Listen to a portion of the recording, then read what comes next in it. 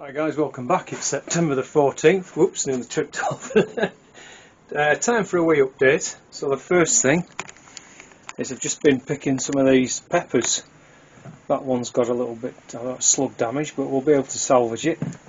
But uh, they're like what the fun size or something they call them. But yeah, they you know we got some anyway. So uh, gonna have some of those in the tea, I reckon. Right, let's have a look in the greenhouse. Going there, you can see I've been uh, picking apples. Um, it's still a bit early for me. I like to leave them on the tree as long as possible, but uh, that's the problem in Cumbria, you know, with the windy weather and that. This is they get damaged, and then it's going to be very, very hard to keep them through till October. But we'll try. A bit of beetroot today. Sorry about the wind noise. Um, but you can see the onions better now. I think this row here was the Sturon, very very poor. One's gone to seed there. I'll use it up. And then these were Bedfordshire Champion. They've done much much better. I mean I've got some fresh Sturon seed, but um, I mean some of these, you know, they're pretty good size onions, so it's not all bad at all. What I've been doing here is just snipping off the flowering heads of the basil. We're just trying to keep it going as long as possible. And I love the aroma, you know, when you do that job, it's it's amazing. And um, so you can see these little peppers, they're still flowering. I mean, they won't make up now, but uh, there's one there, look. That's just kind of ripening now, can you see? And then I noticed uh, we've got one here.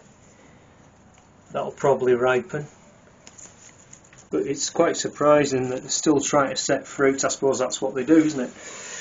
Um, and then I took the cherries out now because they got blight, and uh, I'm just I've just got these few crimson crush. So I'm not sure. I've just spin you around. Um, I don't know. I think probably another week or so, and then I'm going to take all these out and see if I can get something planted up in the uh, in the greenhouse but I'll show you what I've done in the frames. I've been planting up a bit, uh, got some spring onion there, they're not looking brilliant but uh, hopefully we'll get some out of them. Then there's a few rocket, salad rocket and then we've got a, a row of rocket there and then I've just planted out these multi-sown radishes. That's the next lot of spring onions coming on. I thought I might try a few French beans, but to be honest, I think I was too late. I don't think they're going to make up. These are my spring cabbages, looking alright. And I've just sowed some more uh, spring onion here. Just sowed those now to follow that batch there. So they'll all be going either in the greenhouse or in these frames. Then next door, uh, got two little rows of spinach and then the rest is chard and I've just sown another module tray of spinach there so that should fill all this up and any left over go in the greenhouse um, and that little pot there was my Hilde 2 um, overwintering lettuce but it, it's been a disaster. So I've sent away I've, I've got a new packet. I had to get them from Holland. I couldn't find any in this country at all. So hopefully I'm hoping I won't be too late with those. Uh, had a few leaves off the Lollo Rosso, so I'm kind of hoping to get another six weeks or so out of those. And um, I was just having a look in the amongst the dwarf French beans here. There's actually still still some useful beans on, so I'm going to pick those now probably. That'll give us another meal out of those. And you can see the courgettes uh, got mildew, but I'm not worried because uh, we've still got there's about two there and then there's three down here and the temperatures this is four actually supposed to pick up next week so if we can just get it through another sort of week to 10 days you know they'll make nice little uh, end of the season courgettes oh five minutes picking guys that's a very useful late harvest of beans so pretty happy with that. Alright, catch you later. Guys, it's September the 16th and I'm down on the orchard and uh, you can see I've got my little army sort of uh, jacket on because it's got really big deep pocket. That's why that's why I wear it really. Um, and it's a bit warmer, of course. These mornings are getting pretty chilly just now, and the grass is very wet, damp. You know, we've uh, had a lot of rain, but I think we're in for about three or four at least nice days. So look at the colour now. This is why one of the reasons I've been waiting. You know, I've been delaying harvesting. I mean, this variety isn't due to be picked till October anyway. But I mean, look at the fabulous colour on it. So obviously, each day of sun, you know, it's going to hopefully ripen those a bit more. That's apple variety jumbo, by the way. Absolutely cracking apple. Um, so yeah, you, you, know, on each each day that the apple stays on the tree means hopefully a little bit more sugar. So we've had some pretty strong gusts, and if I just walk you down, I mean, they've not done too bad. There's one or two. There's a pair off down there. I can see a few over there need picking up. Uh, but it's this big tree here, this Harry Masters jersey. Can you see that?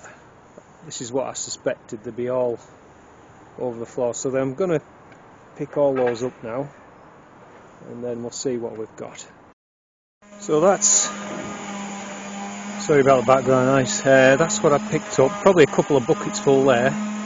But for every kind of couple of buckets, I'll show you what I'm losing. For example, I go around picking everything up off the floor that's been damaged by birds, and then these are what I go through the crates, and they've all got brown rot as you can see. And uh, this is one of those beautiful Peasgood Nonsuch. You can see where it's had a ding there, and then it's started to get brown rot. This, you know, they go very quickly. i am going to take that home because uh, one, I want to weigh it, and two, I think I can salvage a good half of that for uh, put it in the freezer for some stewed apple. So that won't get wasted.